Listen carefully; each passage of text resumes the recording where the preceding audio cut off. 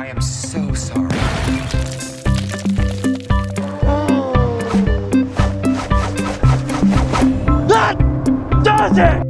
Hi everybody, welcome back to the channel and welcome to the Deadpool 3D print. This is what we're working on today. I've been itching to, to do a 3D print for a long time and I picked one up while I was in Chelmsford. Now I'll leave the links in the description to where you can pick these up from in the Essex area. This guy does some amazing 3D prints and these are really detailed guys and very clean as well. You can see a lot of 3D prints that are like obviously sort of rushed I suppose and the actual details don't look very good but this one is absolutely mint guys on the details. You get a nice little velvet bottom so when it's on your surface it don't slip around it's nice really really clean. So we're going to paint this one up today and we're going to chop it up adapt it and we're going to turn this into an airbrush stand for the studio. So where you've got the two swords to the back we're going to chop these down. I'm going to mount two airbrush holders.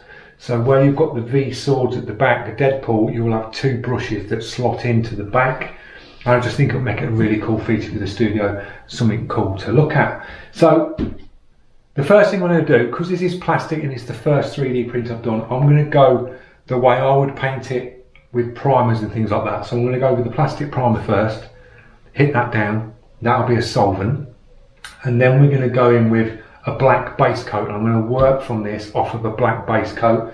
We've got some of the multi-mix Hyper Silver, which I'm going to put on as well just to give it some little highlights in places. We're going to use Golden High Flow. We've got some specialist paints for the black base. Golden High Flow acrylics. We've got some transparents.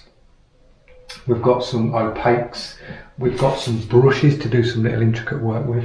And then as this is as this is staying inside, it's not going to be outside getting weathered. I'm going to clear this and finish it in a matte varnish. I don't want it glossy, I want it all matte looking and that's what we'll do. So I'll stick in time lapses. I'll try and talk through as much as I can um, through the stages, but the first stage is to hit it with a Dremel and chop these bits off. Then we've got to hit it with a drill and drill through and mount these two little airbrush hangers to it and I will paint and prime all the airbrush hangers so it's all blended in and spray all these in so it looks like it's all one piece instead of the two airbrush hangers looking a bit odd standing out. So let's crack on guys and let's start chopping Deadpool up. See you in a minute.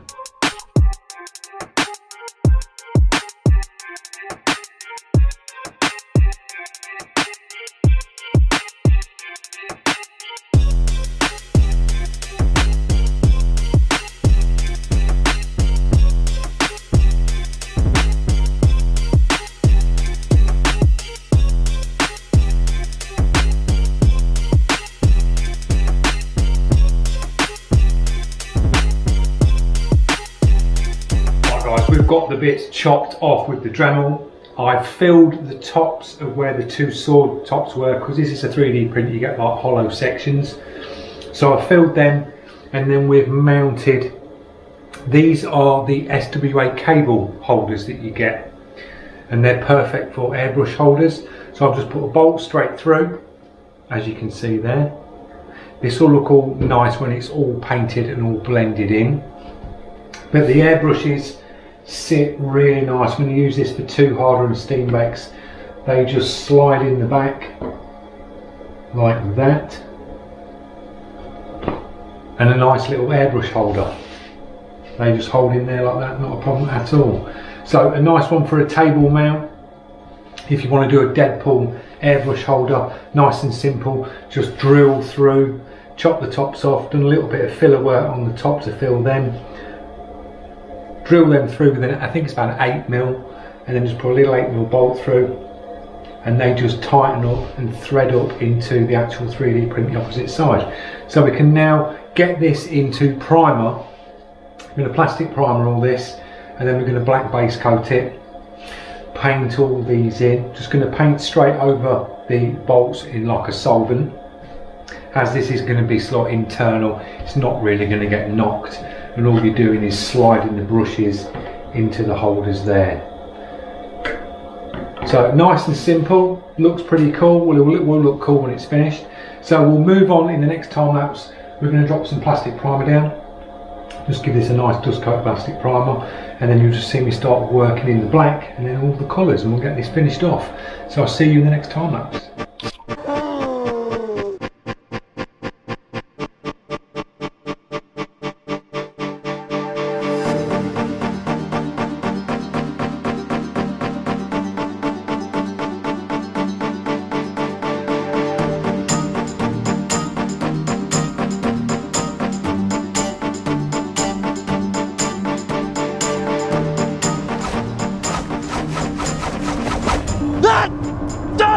Right, in that little time lapse, guys, you see I dropped some plastic primer down. The Standox plastic primer went down on this absolutely fine.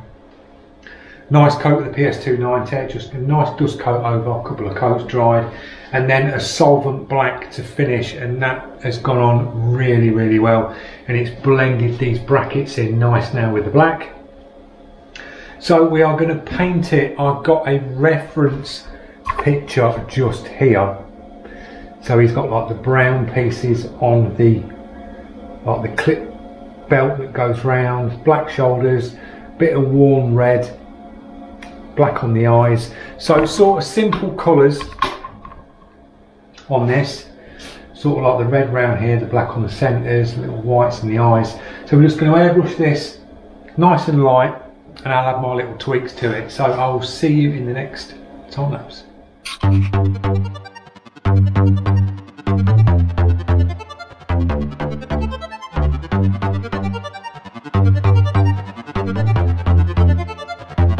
I don't know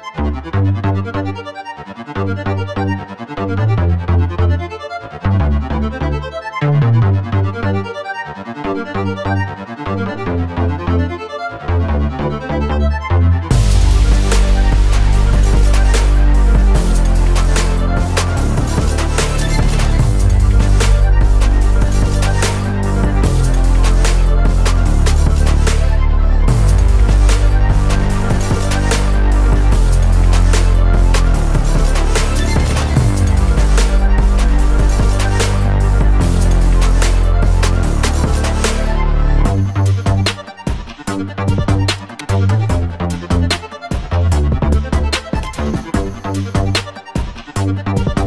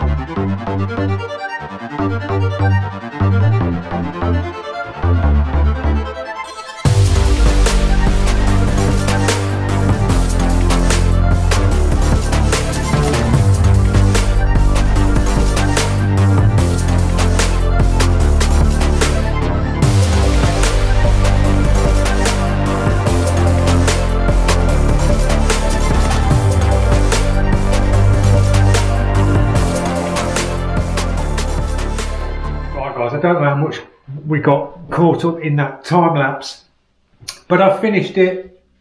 We've got Deadpool done, so it's a nice sort of not really bright colours. You've got all the shadows and all the intricate pieces. We've got like the leather pouches around there in the brown with the drop shadows.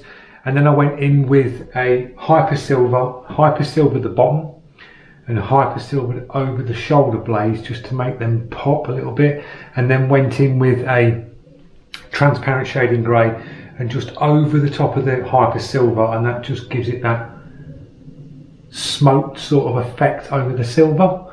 But it's, it's all done. Next thing to do is we're going to matte clear this. Matte clear it up, just give it a nice coat of matte clear and that'll just dull off any shiny bits and it will be done. So I just hope there's enough recording in the time lapse.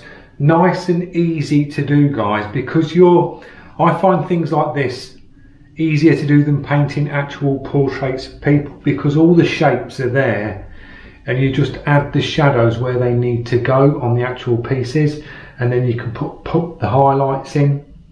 I went in with a couple of tones of red, used an artist brush on some of the intricate bits like the little playing card there. But the rest of it was just airbrush, nice and simple, really relaxing to do. Just had the radio on in the background and just paint it guys. Reference, I was looking now and again, but I was just working it how I wanted to work it. But it's come out really good, so we'll get the mat clear on, dry it off, and we'll stick the airbrushes in and give you a little pan around when it's all done.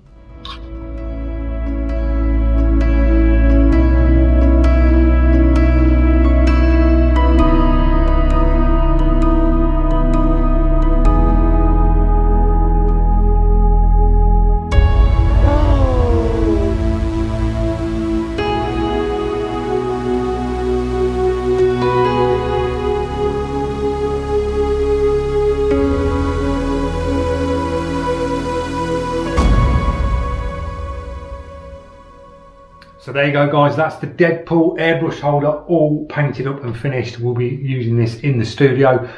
It'll be just on the side with a couple of airbrushes in. So nice and easy to make. I'll leave a link in the description where you can pick up these 3D prints. There'll be a website and I'm sure it's a link to Facebook as well. But it does do delivery as well. It does some really nice prints. And if there's a print that you're after, send over sort an image and he will sort it out and make you a, a 3D print of it. So that's the Deadpool one, the new airbrush holder for the Harder and Steenbecks. It's came out really nice guys, nice, easy to do, plastic primered. Then I went in with some solvent black base coat, dropped that in, let that dry off, and then just went in with the airbrush colours and then used a matte varnish to finish it off. So I hope you enjoyed it. Don't forget if you're new to the channel, click that subscribe, press that notification, and I'll see you in the next one, guys. Cheers.